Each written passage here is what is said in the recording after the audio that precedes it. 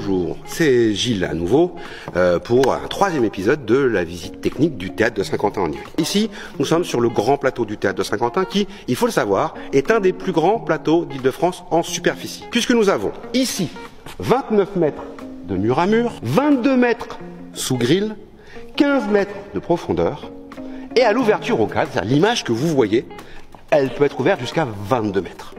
Alors avant de se perdre sur ce grand plateau, je propose qu'on fasse un petit peu de leçon d'orientation et vocabulaire en même temps. Vous savez que sur un plateau, on ne dit pas droite-gauche, on dit jardin et cours. Alors comment retenir jardin et cours Quand vous êtes face à la scène, pensez aux initiales JC. Et vous avez le jardin et vous avez la cour. Autre dimension, la profondeur, là c'est beaucoup plus simple à retenir. On parle du lointain et on parle de la face. Et au lointain, on a fait la 45 et la 40. Mais avant d'aller sur le plateau, il faut que je vous parle du cadre de scène qu'on peut réduire un peu. Allez, venez avec moi. De temps en temps, il est intéressant de pouvoir réduire l'image du cadre parce que le décor est un peu plus petit que le plateau. Alors comment fait-on? On fait comme ça. Voilà, cette partie du cadre de scène vient se resserrer et au lieu d'avoir 22 mètres, on peut réduire jusqu'à 12 mètres. Philippe, t'es prêt? On va la remettre en place, attention.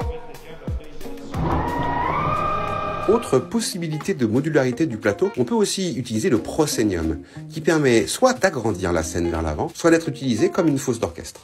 Alors on a parlé de la taille de ce plateau, mais une autre particularité qu'on peut retrouver dans d'autres théâtres, mais qui est bien présente ici, c'est nos dessous de scène. Alors c'est quoi les dessous? Bah c'est ça, regardez. C'est ça. Sous notre plateau, il suffit d'ouvrir des trappes et on découvre un espace 4 mètres plus loin dans lequel on peut faire bouger les décors. Alors ça n'arrive pas très souvent, ça nous sert beaucoup de stockage, mais au moins on peut le faire. Maintenant, pour vous parler du plateau, de tout ce qui s'y passe autour, bah, je vais vous laisser dans les mains d'un expert. Florent, c'est à toi.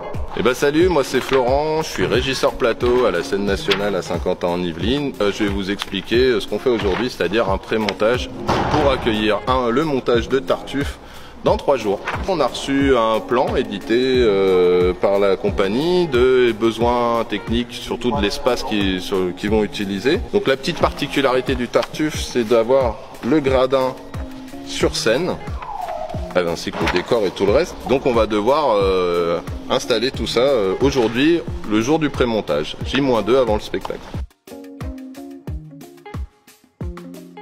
Et maintenant, on regarde ça en images.